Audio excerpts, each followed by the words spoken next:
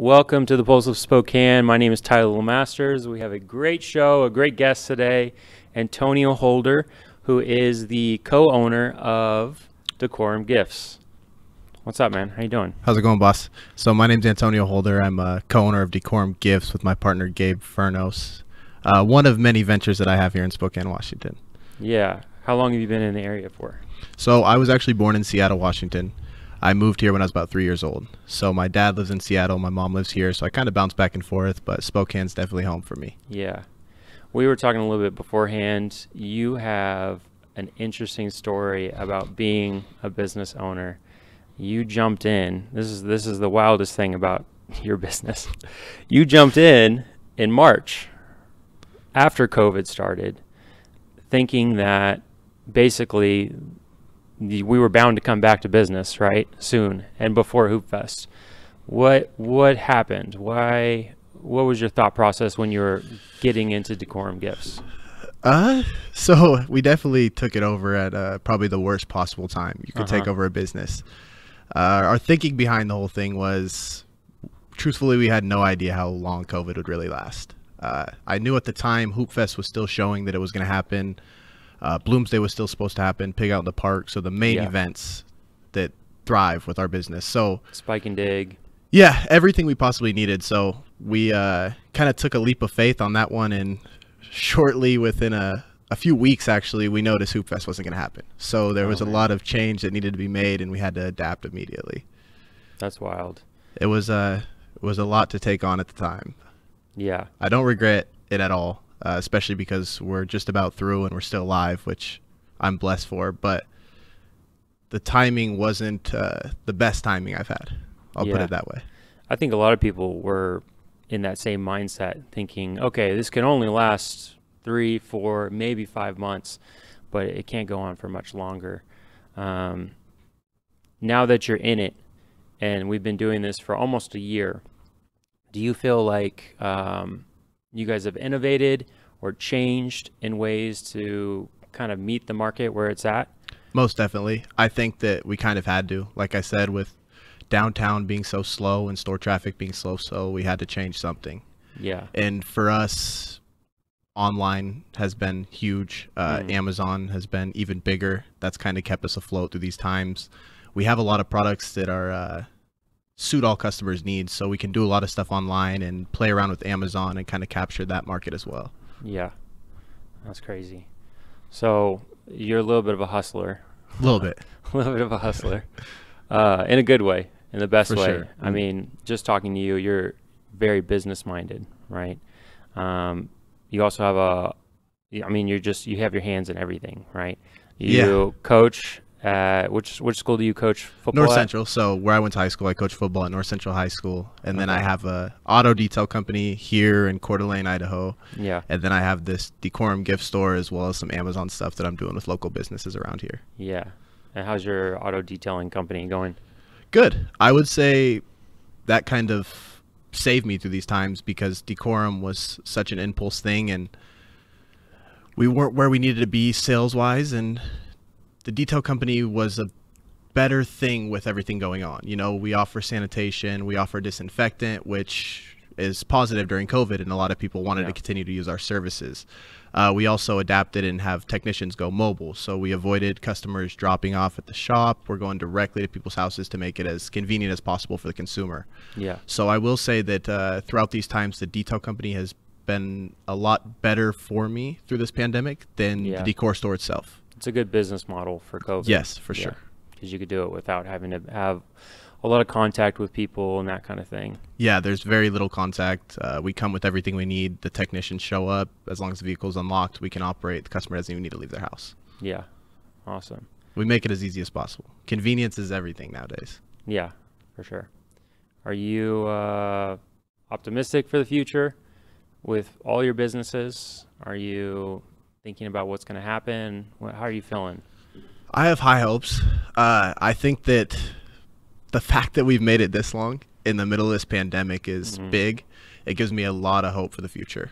I don't yeah. see it getting worse. I just see it going up. So for me, I mean, I'm blessed to know that eventually, let's hope that everything's back to normal and we're in a great position and it all made sense through this this hardship time. Yeah. I mean, I think a lot of people are thinking that way that it's got to change soon.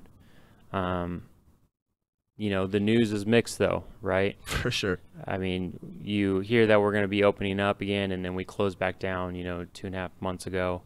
Um, the the standards for what it would take to reopen are so stringent. For us over here in Eastern Washington, you do wonder, you know, how long it's actually going to be. Um, and now they're talking about continuing to social distance after after um, you know people actually get vaccinated. Um, you know, are you are you worried at all, or are you just kind of holding out on hope that there'll be some sanity?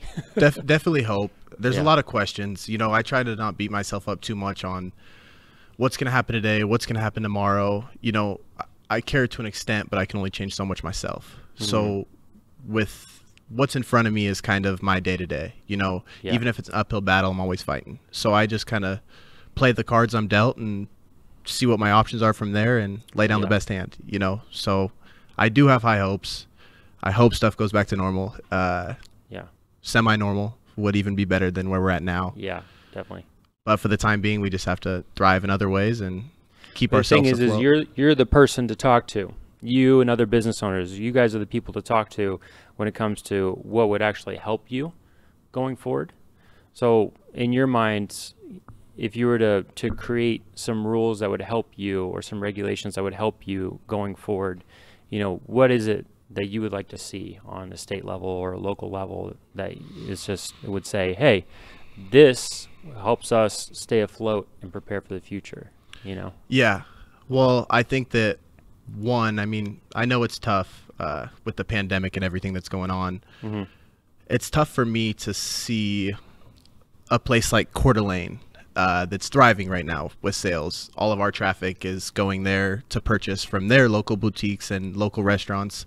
Yeah. And I think what I'd like to see is Spokane to incorporate some of the measures Coeur d'Alene follows in the sense of allowing the people that have been vaccinated, allowing the people that aren't as concerned, don't have health risk, to be able to go out. Because a lot of people, there's two, you have two different people. You have the the person who is very concerned about the pandemic, Mhm. uh, not wanting to leave their house, wanting everything to be shut down. Yeah. And then you have a totally different person who's driving 60 miles to Coeur d'Alene to get away from the situation that they're in. Right. Yeah. So it's hard for me to see that, and I just I'd like us to be in a position where we're as safe as we possibly can be, but we still allow the people that aren't high risk and vaccinated to have some normalcy in their life, you know. Mm. And I think that will help the businesses as well because there's people that want to get out, you know. There's people that want to do stuff.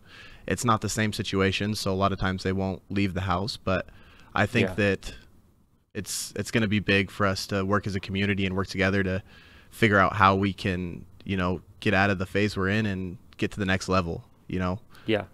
i see a lot of businesses going under and it's tough but i think that if we continue to work together and all have high hope and keep Mhm. fighting that we'll get in a good position here shortly Yeah.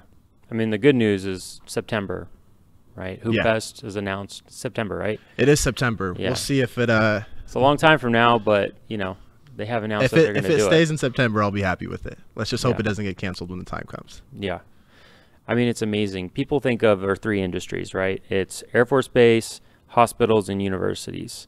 But for some reason, we always forget that the fourth and probably one of the most important things is we're a conference town, right? All the small businesses downtown, the restaurants, the hotels, that's based off of these conferences, not just Hoopfest, Bloomsday, Spike and Dig, the basketball tournament, but just business conferences. The people come into town and stay at the Grand and you know Davenport and all, Oh, yeah. you know our other twelve dozen hotels. Um, yeah, I mean that's that's the lifeblood that fills in the gaps that our regular citizens can't support. You know, a restaurant industry all on its own. Um, yeah, and you guys are, and everyone should go visit you guys. But you guys are located in the perfect tourist location, across from Auntie's Bookstore, across from the Grand. Oh yeah, Uh, we're very centrally located in downtown, and that's part of the reason that swayed me to to make the store a reality is because I was in love with the location. I think downtown's beautiful. Hmm. Uh, one nice thing about being in business downtown is the community's great. Uh, other business owners, we all work together. You know, we do Yeah. different marketing things and advertisement to support one another, which is huge. Yeah. The community's so tight, and that's why I can't wait to get back in a position where people are out and about. You know, experiencing downtown. Uh, Riverfront's expanded. There's all sorts of new stuff in the city, so we just need that opportunity for people to be able to get out and experience it. Yeah. Let me ask you, you know, business is one thing, but this is a small community. So, what does it mean to you to be part of the community in a substantial brick and mortar way? Um, yeah. What does Spokane actually mean to you? It, you know, it means the world, to be honest. I uh, I moved away for a little bit, spent some time in Scottsdale, and uh, kind of got dragged right back. You know, this this Yeah. is where it all started for me. Yeah. So for me to make an impact here, and and for me to uh, you know, kind of do what I've created in, in the business platform as well as the community itself. You know, Mhm. I want to show people that no matter where you're from, no matter what you've been through, that you can do whatever you like, whatever you put your mind to. And I think for me, having this brick and mortar every single day with all the things that are thrown my way, I have all the power in the world to continue to fight just because I am so proud of what I've accomplished. And for me, it's hard to. I'm I'm far from a quitter. Uh, so for me, it's one of those things where it's like, whatever it takes for me to be successful and whatever it takes for me to stay afloat. Uh, with that being said, Decorum is my baby, and I know it's a huge spot in the community where people like to shop.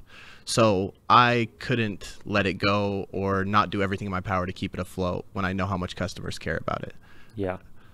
Yeah. You are not alone. I mean, you're the example of this new generation of business owners. Um, so many people are using, you know, you hate to see people go through the hardship that, that, that sure. COVID's brought. But at the same time, every time in America there's an economic dip or a challenge, it opens up doors for those that normally wouldn't have the ability to get in. It lowers the cost of entry, right? I and agree. so there are a lot of people young, you know, you're in your mid 20s, that are ambitious and smart and capable. And now the bar has been lowered money wise, and you can jump in and start to build the city for yourself and start to have a stake in the city.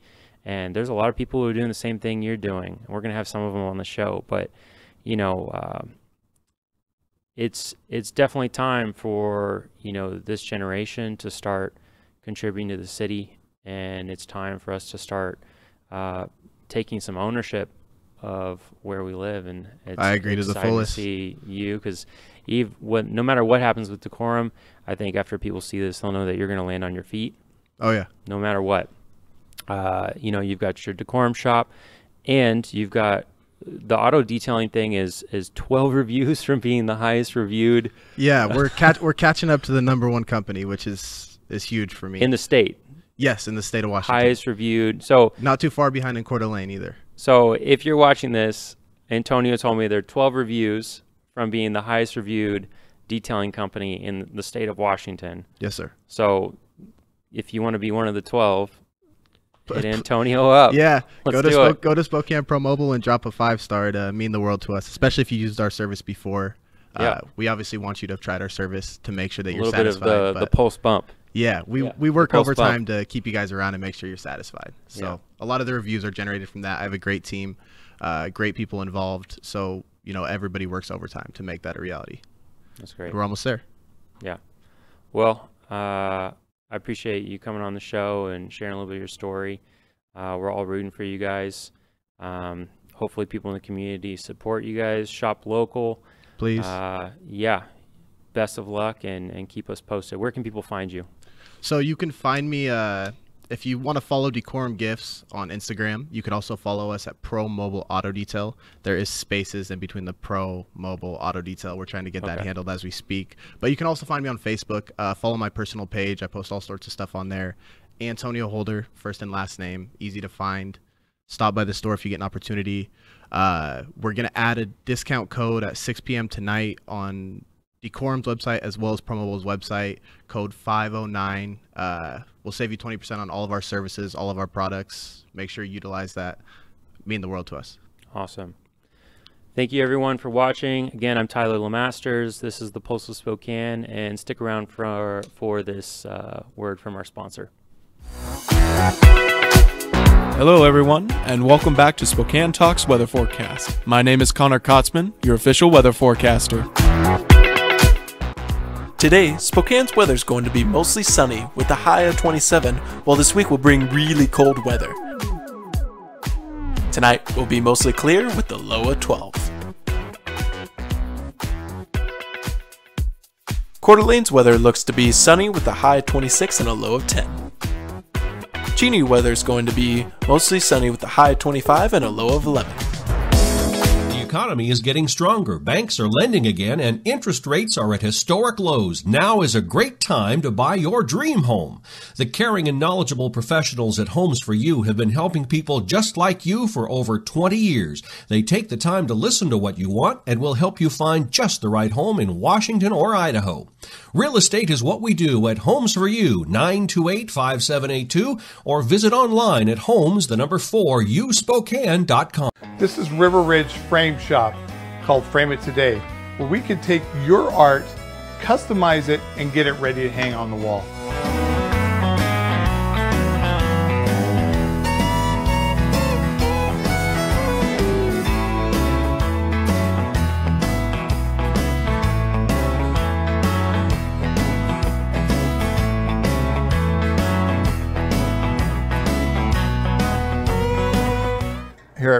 Hardware, 2803 West Garland. Weather in the inland northwest can wear you down. And if your gutters are in poor condition or you do not have gutters, you could suffer damage that could cost a fortune to fix. Rainman Seamless Rain Gutters has almost 30 years of professional experience in serving the inland northwest region and strives to ensure customer service that is second to none from the time you call to the end of the project.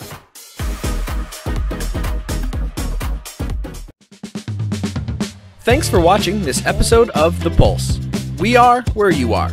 Check us out on any of these other platforms as well as our website.